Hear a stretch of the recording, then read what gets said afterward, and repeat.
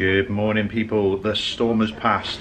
It looks a little bit sort of cloudy out there at the minute, but it's not too bad, it's a lot cooler today, so I'm looking forward to getting out and about.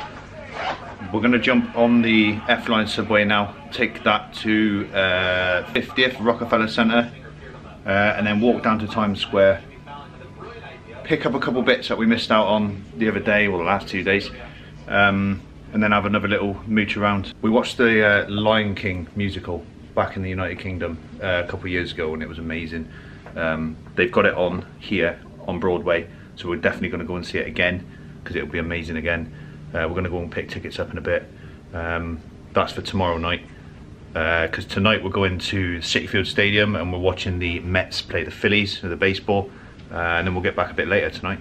So we're going to enjoy the day. See you in a bit. His music is saying you to the audience but in a really beautiful way. It's like, Q, I love you. Now let me play you some beautiful music, you know? So there's this feeling like um, they're gonna do whatever they want and, and assert their own will and not worry about how it's being understood or whatever. Yet the wonderful thing about that is that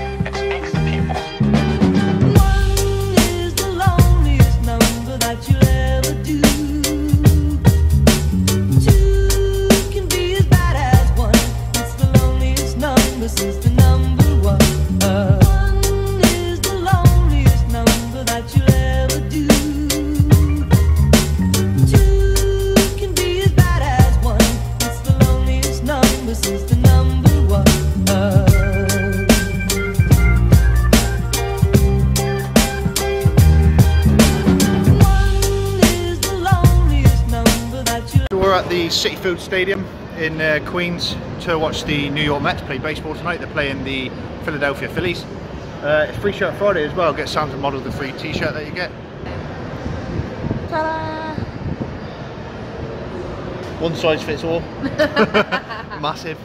Um, so yeah, we're looking forward to it. Just going to grab a bite to eat now and then go in and watch a batting practice and uh, get settled in for the game. So I'll see you in a bit.